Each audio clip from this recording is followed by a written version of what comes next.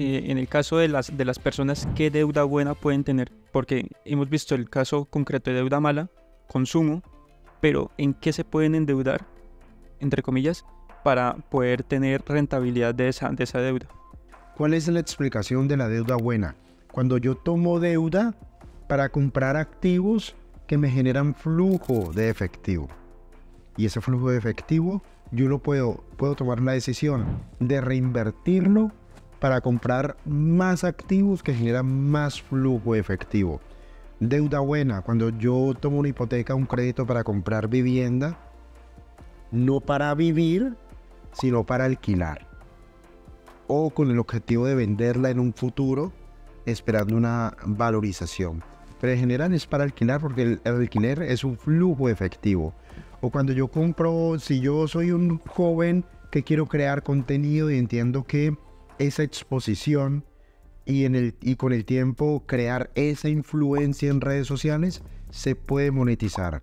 Y creo, entiendo, sé que utilizando sencillamente un teléfono inteligente y mi ordenador para editar o para crear sitios de internet o lo que sea, ese ordenador o ese teléfono inteligente, ese smartphone, yo lo estoy utilizando como un activo que me será útil en la creación de contenido y ese aumento en la influencia o en la exposición en las redes con el tiempo me podría, yo lo podría monetizar de 40 mil formas diferentes.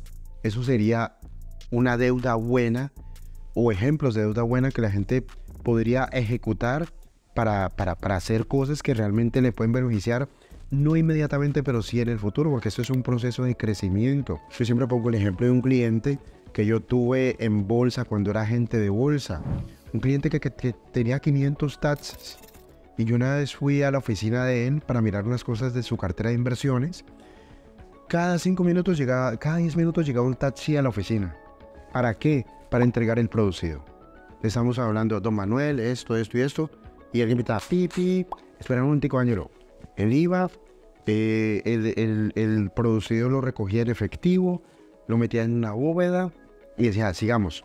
A los 10 minutos, pipi, espera un momentico, volvía, tin, a los 10 minutos, pipi, volvía, tin, pin, 10 minutos, tin, tin.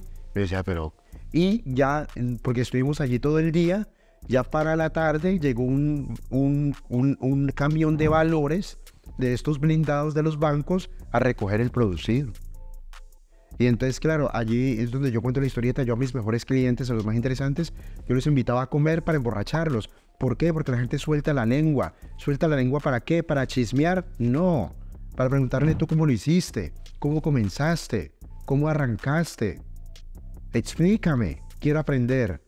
Entonces, lo que me comentó don Manuel, me dijo, Ángelo, yo vengo desde abajo, yo eh, tomé un crédito para comprar mi primer taxi. Yo trabajaba de día, de noche, no tenía conductor. Yo dándole, dándole chancleta a ese, a ese auto todo el día, toda la noche, eh, trayendo y llevando gente en ese taxi. Y entonces yo qué hice, pagué ese taxi como en tres años. Cuando lo terminé de pagar, tú como liberé capacidad de crédito, tomé otro crédito para comprar otro taxi. Y ese taxi lo puse a trabajar con un conductor. Yo, tenía, yo manejaba el primero y un conductor manejaba el segundo y hacía dos turnos, uno, por la, uno en el día y otro conductor para la noche. ¿Qué pasó? Que ahora tenía dos flujos de efectivo para pagar un taxi porque el primero ya estaba pagado. ¿Qué pasa? Que con el primero me demoré tres años porque era solamente uno. Con dos taxis pagué el segundo taxi en año y medio. Entonces fuimos para el tercer taxi y fuimos para el cuarto taxi y hasta llegar a 500. ¿Eso qué es? ¿Deuda? Buena. Buena.